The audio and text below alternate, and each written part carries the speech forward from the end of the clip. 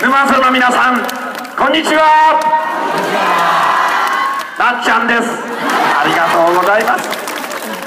静岡の皆さんに魚住雄一郎頑張れ頑張れ。お忙しい中を駆けつけていただきましたこと心から感謝と御礼を申し上げます。皆さん本当にありがとうございます。いよいよもう実質あと2日しかないんです。私も候補者なんです。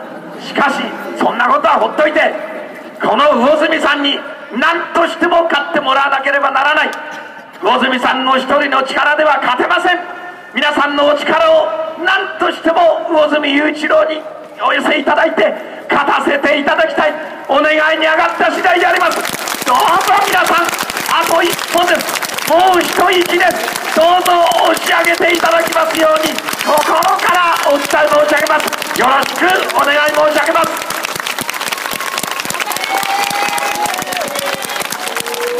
昨年総選挙で大口さん勝たせていただき我々は連立政権を作りました。何をやるか。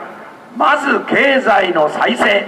そして被災地の復興のスピードアップ防災対策。これを優先的にやろうということでスタートしました。皆さん我々はお金の巡りが良くなる金融政策。そして防災対策などを進めるために予算を作って政府が仕事を作り出す。お金がやっぱり回ってきます。さらに民間の優れた力を引き出そうということでこれから先経済成長していけいけるように成長戦略も発表しました。どうですかこの半年間。大きく変わったじゃありませんか。だってね去年のね11月頃ですよ。民主党政権の末期。日本の経済成長率はマイナスだったんです。マイナス3.6%だったんですよ。我々公明党が政策を実行した今年の1月から3月まで。プラスになったんです。プラスの4.1%に大きく上がったんです皆さん。この7月の初め年金の積立金の運用益昨年1年度の結果が発表されました。なんと過去最高の利益ですよ。11兆2222億円。すごいでしょ皆さん。ちょっと拍手が少ないですね。これもそのはずなんです。年金の積立金が増えたといっても皆さんの懐に今関係ない。若い方ばっかりだから実感できない。だけど皆さんこの結果は確実に上がっている。しかし沼津の地域や周りの商店街やあるいは中小企業そして皆さんのご家庭にまだ実感が伴っていないそれが実情でしょ。だからこれからやらなければいけないことは実感できる景気回復をぜひ魚住雄一郎の手でやらなきゃいけないやらさせていただきたいということなんです。共産党や社民党はやれ給料を上げろ。仕事を増やせ雇用を増やせそれ言うだけですよ。具体的にどうやるかそこがありません。しかし公明党はこれからやるには働く人の代表そして企業を経営する人の代表政府が中に入って3社できちんと協議をする場を作りなさい。こういう提案をしました。そして企業に蓄えた利益を働く人たちにどう分けるか。賃金の配分のルールを決めなさい。そういう具体的な提案をしてるのは公明党だけですよ皆さん。公明党は与党ですからね。自民党をきちんと納得させて政府も説得をしてこれからの骨太方針という中に今私が申し上げたことをきちんと決めさせることができたんです皆さん。参議院選挙の後今年の秋から来年の春にかけて魚住さんがそれをしっかり進めて皆さんが実感できる景気回復実現をいたします。どうぞやらせてください皆さん。でも今国会がねじれているんです。3年前私はレッドカードを民主党政権に突きつけました。その結果ねじれたんですよ。ねじれは国民が選んだものです。ねじれそのものが悪いわけじゃない。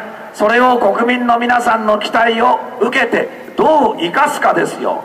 しかし皆さん我々はそのねじれを生かしてあの震災が起こった時や与党に協力をしながら復興対策そして議員立法たくさんやってきたでしょう。これが本物のねじれを生かす国民に対する誠意なんですしかし今ねじれを野党の皆さんは生かしていません。だからねじれは解消しないとダメなんです。さっき魚住さんが言いました。この間の国会の最後の時に大事な法律を廃案にしてしまった。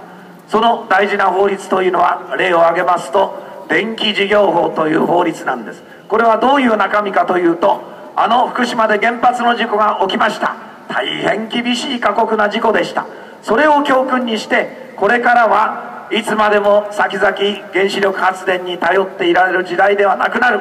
だからそれを見据えて今責任を持ってやらなければならないことは太陽光や風力を利用して再生可能エネルギーを生み出す育てるそしてそれを広げていく。これをやるためにこの法律を改正したんです。ここは東京電力でしょう。これまではね東東京電力に発電も送電も全部お任せでした。しかしいいところに風力発電作った。地熱発電作った。だけども東京電力の送電網がない。弱い。これでは電気送れません。だからこれからは発電と送電をはっきり分けてそして場合によっては国や静岡県が送電網を作ってそしてこの再生可能エネルギーを必要なところにどんどんどんどん送れるようにする、ね、また発電できる場所にどんどん建てるようにする。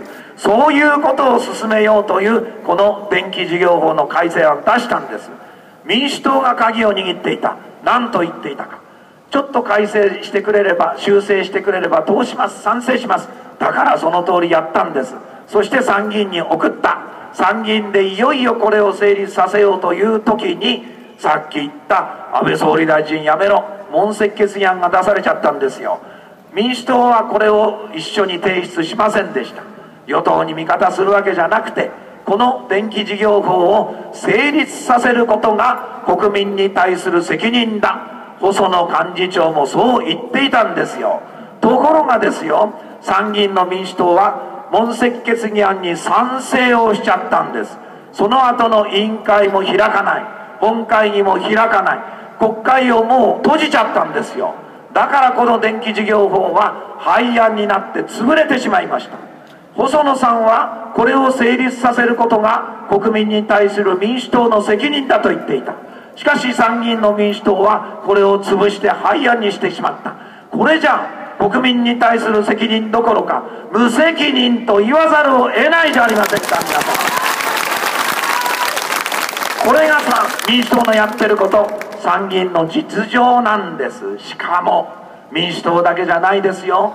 みんなの党も維新の会も日本共産党も緑の風もみんなでこの電気事業法を廃案にして潰しちゃったんですよ。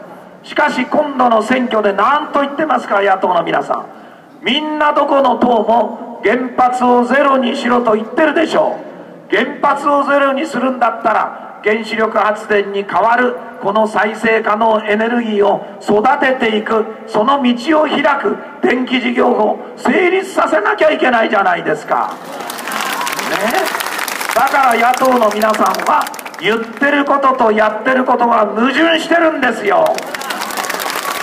これでは日本の将来のエネルギー政策を任せるわけにはいかないんじゃないんですか皆さん。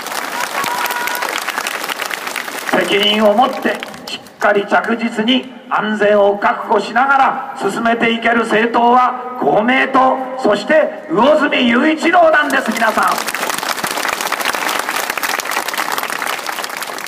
最近世論調査やりますとね公明党の加わった連立政権が過半数取った方がいい。そういう数字が増えてんですよ。これは自民党が今風を受けてますよ。どんどん進んでます。しかし舵取りはねこの法に受けて、えー、進む速力とバランスが取れなければ国民の期待する方向に行かないでしょ。だからしっかり舵取りする。公明党が大事なんです。この世論調査も与党に公明党がいるから安心だ。そういう国民の皆さんの期待じゃないですか。外交や安全保障の問題でも時々外国の政府とぶつかることがあるんです。今韓国や中国とちょっと具合悪いですね。だけれどもそういう時だからこそ長年対話で交流を重ねてきて信頼のある公明党が与党にいないとこれからの外交の将来を切り開いていくことができないんです皆さん。私は今年の1月安倍総理の親書をお預かりして中国へ行ってきました。習近平総書記と会談をさせていただきました。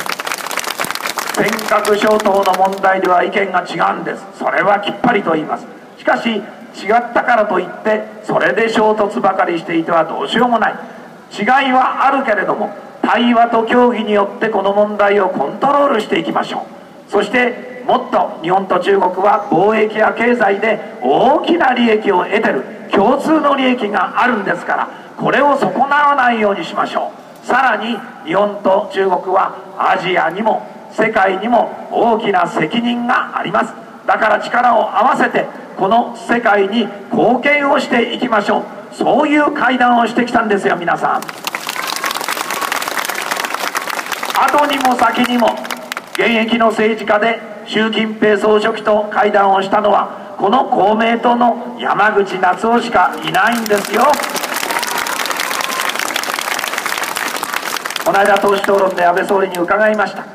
連立政権における公明党の役割をどう評価しますか。安倍さんはこう答えました。自分の親書を山口さんにお預けし習近平総書記と会談をしていただいた。安倍外交を公明党に山口さんに補完をしていただいている。これからも力を合わせて協力しながら外交を進めていきたい。そう答えていたではありませんか。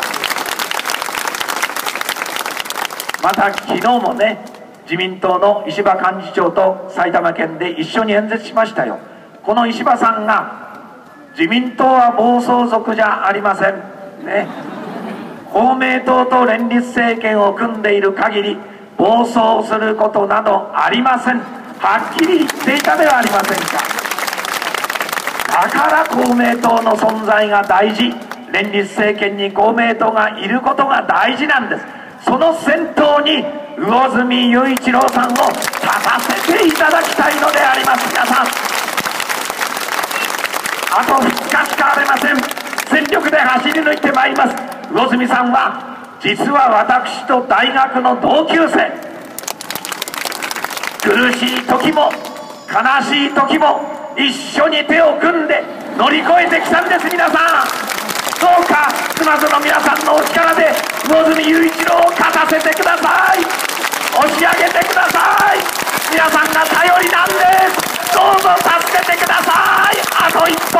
もう一息です。皆さんよろしくお願い申し上げます。ありがとうございました。ありがとうございましたありがとうございました比例区魚住雄一郎魚住雄一郎を皆様のお力で勝たせてくださいよろしくお願い申し上げます魚住雄一郎皆様のご期待に必ずお答えしてまいりますあと2日あと一歩もう一歩のところでございますどうぞ皆様の真心に魚住雄一郎勝って勝ってお答えさせてくださいよろしくお願い申し上げます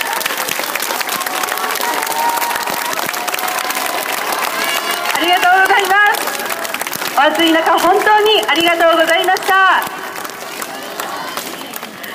ありがとうございます。魚住雄一郎勇気100倍元気100倍で残り2日間全力で戦ってまいります。どうぞ皆様のお力で勝たせてください。よろしくお願い申し上げます。お暑い中大変にありがとうございました。以上をもちまして魚住雄一郎街頭演説会を終了いたします大変にありがとうございましたありがとうございました一生懸命頑張ってまいりますよろしくお願いしますご近隣の皆様ご通行中の皆様には大変お騒がせいたしました。何卒比例区魚住雄一郎魚住雄一郎をよろしくお願い申し上げます。大変に暑い中ありがとうございました。